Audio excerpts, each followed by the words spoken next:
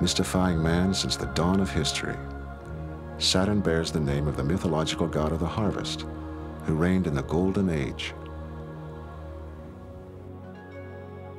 Traveling at more than 55,000 miles per hour, Voyager 1 arrived in November of 1980, only 12 miles off course after an interplanetary journey of more than a billion miles. Voyager's instruments found Saturn's atmosphere to be a cold ball of hydrogen and helium gases, racked by huge whirling storms and whipped by winds of up to 1,100 miles per hour. Saturn's magnificent rings, thought to have been the result of collisions between earlier moons and asteroids, consist of thousands of particles, swirling pieces of rock and ice, streaked like the grooves in a phonograph record. Voyager atmospheric scientist Dr. Andrew Ingersoll. What Voyager discovered was the incredible structure in the rings. Saturn's rings are really composed of countless numbers of particles, ranging from the size of dust and perhaps larger particles the size of houses. These particles are constantly bumping into each other.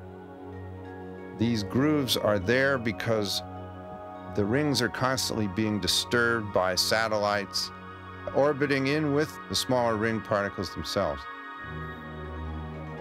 As the Voyagers swept by, sunlight penetrated, backlighting and brilliantly illuminating the splendor of the rings, like the spokes of a gigantic Catherine wheel.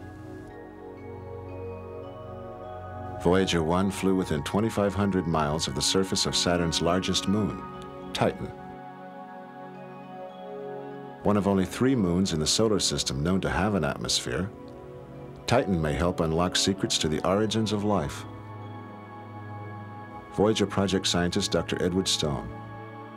Certainly one of the more exciting discoveries at Saturn was the atmosphere of Titan.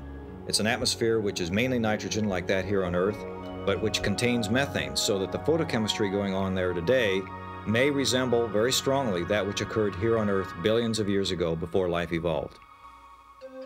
By swinging around Saturn, after a close-up view of Titan, Voyager 1 was propelled out of the plane of the solar system and is now traveling toward interstellar space.